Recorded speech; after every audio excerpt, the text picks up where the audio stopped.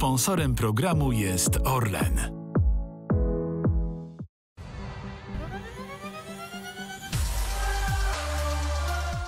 Dalekich lotów polskim skoczkom życzy firma Blachotrapez, dystrybutor systemów fotowoltaicznych Revolt Energy. Razem sięgamy nieba!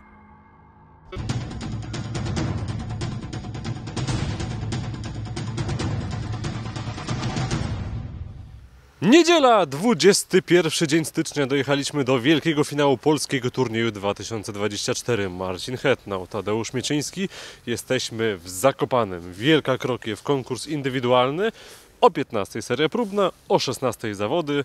Tadeusz jako pierwszy będzie odpytany z dzisiejszej pogody i prognozy. Oj, dzisiaj, dzisiaj jest bajecznie, bajecznie, po prostu znowu błękitne niebo, taki ostry, ostry mróz, e, piękne słoneczko, niemal bezwiecznie, chociaż wczoraj też tak mówiliśmy i momentami gdzieś jednak te podmuchy się pojawiały, więc my, ale myślę, że dzisiaj będzie dobrze.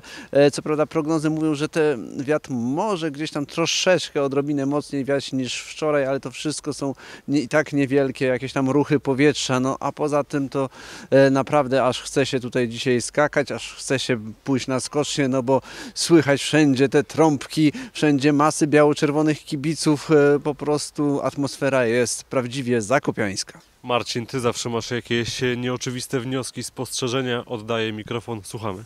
E, Tak metaforycznie oddaję. Metaforycznie, metaforycznie. Zanim wnioski i spostrzeżenia, to chciałem tylko powiedzieć, że wczoraj pesymista wygrał, jeśli chodzi o typowanie, w związku z czym panowie przegrali zakład i tak jak ja jestem ubrany na czarno, tak Tadeusz dzisiaj musiał górę ubrać na czarno, dół mógł mieć na czerwono, Dominik na odwrót, dół musi mieć na czarno, dlatego tak ładnie się kolorystycznie komponuje- komponujemy.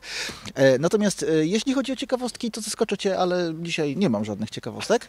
E, Natomiast mam zupełnie e, zmienione prognozy co do, e, w stosunku do wczorajszego dnia, bo ja właśnie dzisiaj uważam, że dzisiaj to właśnie będzie ten dzień.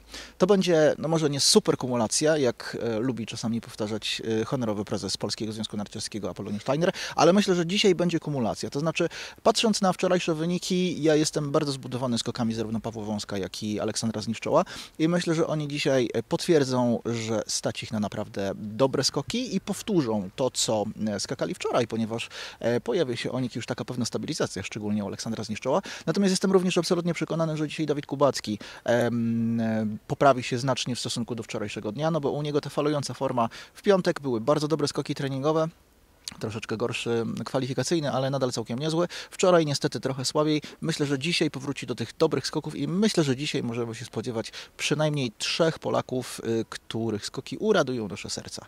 No a jeżeli chodzi o ciekawostki, no to jedyną ciekawostką, jaką chyba można e, podać, to, jest taka, że jeżeli algorytmy dobrze wyliczyły różnicę punktową między prowadzącą ciągle jeszcze w polskim turnieju Słowenią, a zajmującą drugie miejsce Austrią, to jest to jakaś y, bardzo dziwna liczba i nie wiem skąd to się wzięło, z, z przecinkiem okresowym, ale e, gdybyśmy to zaokrąglili, wychodzi 2,4 punktu, więc e, jeśli chodzi o polski turniej, idzie na żyletki i ja jestem bardzo ciekaw, jak to dzisiaj się wszystko rozegra.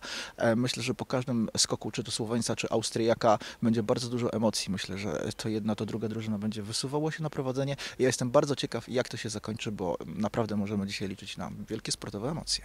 Marcin, nie zdradzaj, że jest błąd techniczny mały. My to wyprostujemy. Spokojnie, spokojnie. Tak, 2,4 punktu. Tak to wygląda. Niespełna 3 punkty między tymi krajami. To jest niesamowite na swój sposób, bo ile było tych skoków? To tak, kwalifikacje w Wiśle, potem w zawodach to cztery kolejne skoki, dobrze mówię. Tak, zgadza się. 5, wtedy mamy kolejne 6, to jest 11, dobrze mówię? 11, 12, no nie, ze 20 skoków generalnie i my mówimy tutaj o różnicy 3 punktów. Ciekawe, co by się wydarzyło, gdyby egzekwo te teamy zakończyły 50 tysięcy euro czeka.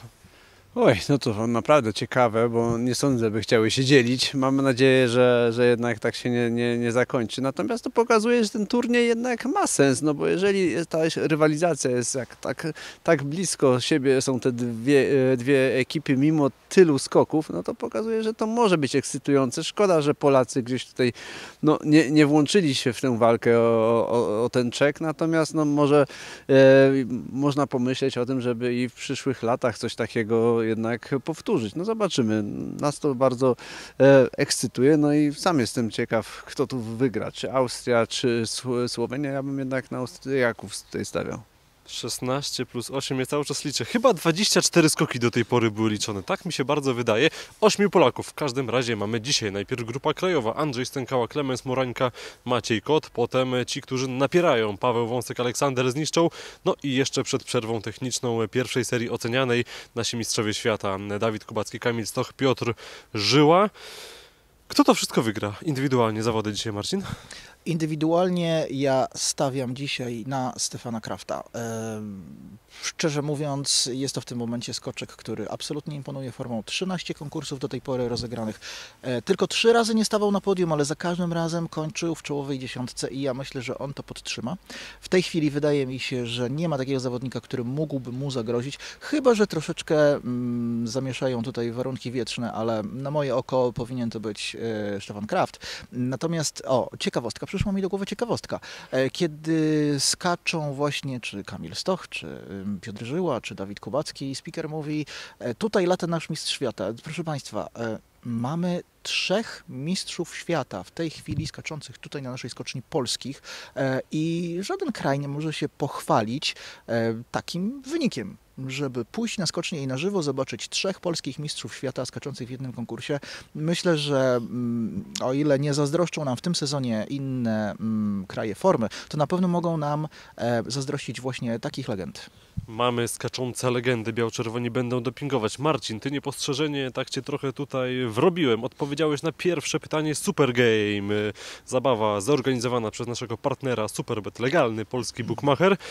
Wspaniałe nagrody i to wszystko darmowa zupełnie zabawa. Tadeusz, y, y, jeżeli Stefan Kraft wygra te zawody, to już ustaliliśmy, to on wygra obie serie konkursu, nie wygra żadnej serii, a mimo to wygra zawody, czy może wygra tylko jedną serię, a może wygra tylko drugą serię ten Stefan Kraft? E, Ja myślę, że wygra pierwszą serię.